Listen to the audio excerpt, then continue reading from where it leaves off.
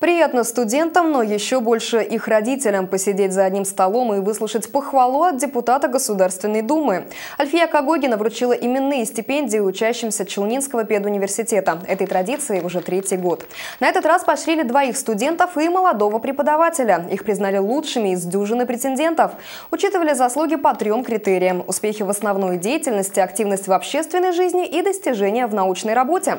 За чашкой чая пришлось и самой Альфия Кагогиной вспомнить о своих студенческих годах. Общаетесь ли вы со своими одноклассниками? И что для вас было учиться в ВУЗе?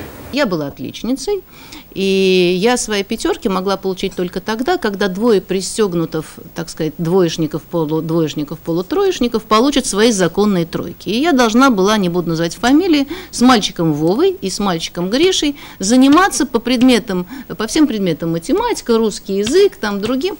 Я их, э, собственно говоря, воспитывала. Напомнила депутат Госдумы будущим учителям и об их задачах в воспитании через пару-тройку лет, когда они поведут к знаниям других. Что касается 33 тысяч рублей, которые от Эльфии Кагугиной получили стипендиаты, каждый из них уже знает, на что направит эти деньги.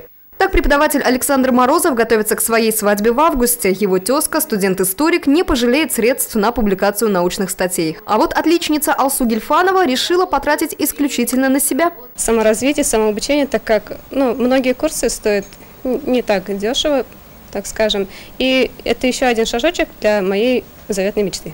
Ближайшая мечта – это пусть останется секретом.